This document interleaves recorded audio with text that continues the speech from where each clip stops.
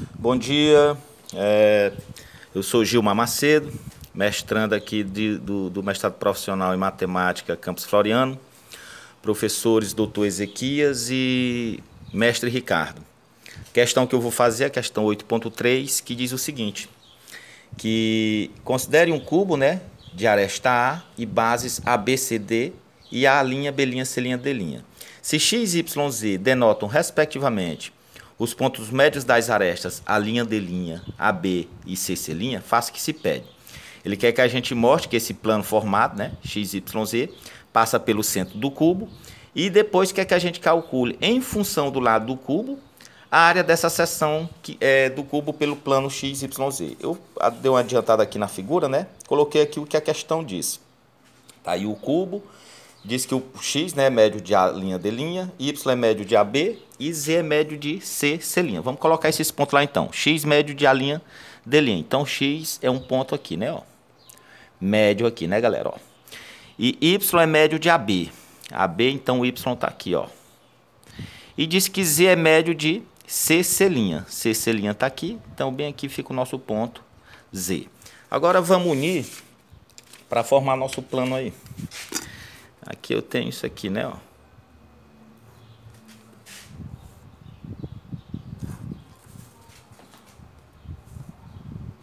Pronto. Vamos dar uma pintadazinha, uma rachurada só para ficar bem nítido. Tá aqui o nosso plano XYZ. E ele quer que a gente mostre, né, no primeiro item, que esse plano passa pelo centro do cubo. Beleza. A gente vai fazer o seguinte, vamos tomar né, o centro do cubo como sendo centro O. Então aqui eu tenho o centro do cubo, né? Centro O. Beleza. Vamos pegar o ponto médio desse lado, a, a, a linha aqui. Vamos dizer que aqui seja um ponto S. Ponto médio aqui, ó, tá? Vamos também, também tomar o ponto médio de XY aqui, ó.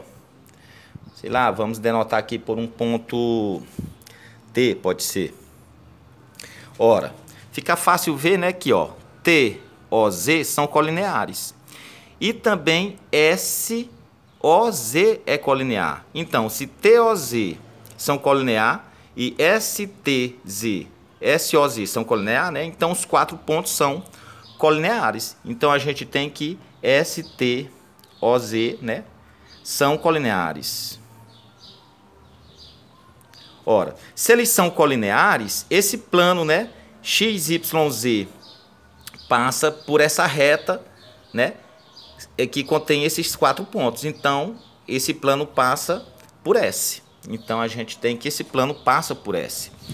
Se você tivesse pego, por exemplo, esse vértice Y aqui, né? E tivesse pego esses pontos médios aqui, ó, de XZ, que a gente vai denotar, por exemplo, por, por sei lá, vamos colocar por K.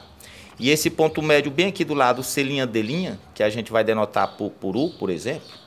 Da mesma forma, ó, OKU é colinear e Y ou U também são colineares. Então, se esses três pontos são colinear e esses três aqui, né, que contém esses dois pontos são colinear, então esses quatro pontos são colineares, né?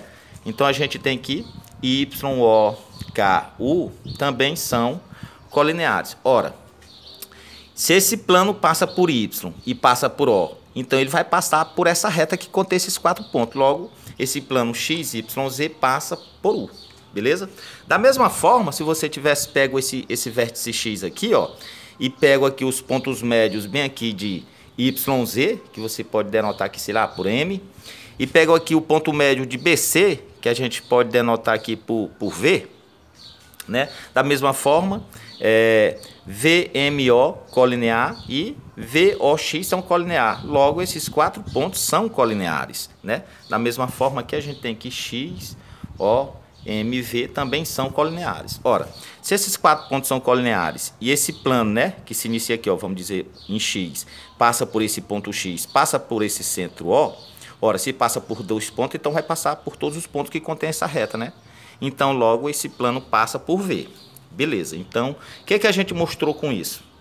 Que o plano que X, Y, Z, ele passa por S, passa por U e passa por V. Aí fica fácil a gente ver aqui, ó, que se trata, ó, de um hexágono, ó, unindo aqui os pontos. A gente vê claramente que é um hexágono. Beleza? Ora, é um hexágono de centro O. Então a primeira parte fica demonstrada. De fato, esse plano x, y, passa pelo centro do cubo. O próximo passo agora, ele quer que a gente calcule essa área dessa secção aqui, ó, que é justamente esse hexágono. É a segunda parte do problema. Vamos lá. Pelo teorema da base média, o que, que a gente tem aqui, ó? Que se o x aqui, ó, é base média desse triângulo aqui, ó. A linha D', C', né não? Então, ó, a gente tem o quê? Que o x é, ele é igual ao quê? A 1 meio de a linha C'. Ora, só que a linha C' é justamente a diagonal da face, né não? Então, o x é igual ao quê? 1 meio da diagonal da face. Então, é o quê? É lado, que o lado do cubo é A, né? É lado, raiz de 2 sobre 2. Beleza. Da mesma forma, a gente mostra que todos os lados do hexágono também medem a raiz de 2 sobre 2, pelo mesmo fato. Beleza. É, agora vamos fazer o seguinte. Essa distância bem aqui, ó, do centro O até U, é justamente, ó, a metade da distância de U até Y. Não é não? É justamente a metade da distância de U até Y. Se a gente trazer essa reta, né, o y bem para cá, para essa face aqui, ó, a gente vai ver que ela é justamente BC'. Então, se o U é a metade de, de UY, é a mesma coisa que a metade de BC'. Então, a gente pode escrever o seguinte, ó, que OU é igual quê? A metade de UY, que é igual a metade de quem? De BC'. Ora, só que BC' é justamente a face do cubo. E BC é a diagonal, lá do raiz de 2, né? Então fica a metade, fica igual quê? A raiz de 2 sobre 2. Beleza. O que, que a gente mostra então? De, da mesma forma que a distância desse centro ó, aqui, né? Para os vértices desse hexágono aqui, são todas iguais. Por esse mesmo fato. Daí se trata de um hexágono regular. Beleza? onde o lado mede a raiz de 2 sobre 2. Ora, calcular a área de um hexágono regular, né? É simples. 6 vezes lado ao quadrado, raiz de 3 sobre 4, não é não?